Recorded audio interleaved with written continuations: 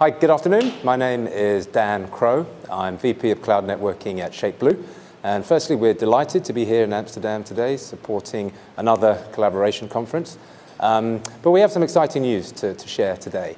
Um, ShapeBlue have become known over the last couple of years now for designing, uh, building, and implementing some of the largest CloudStack clouds globally.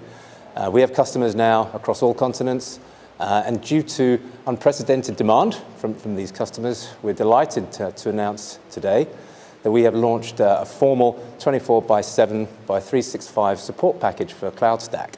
This is a first in the industry. We're really pleased to be able to, offer this to our customers as a valuable add-on. Uh, and essentially, we're offering today an enterprise-grade uh, SLA package to give 24 by 7 uh, with engineering and software support to our customers. So um, thanks very much. Yeah.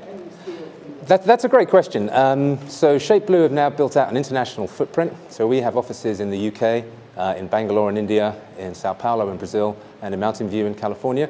So we're going to be using our international footprint to provide uh, follow the sun support.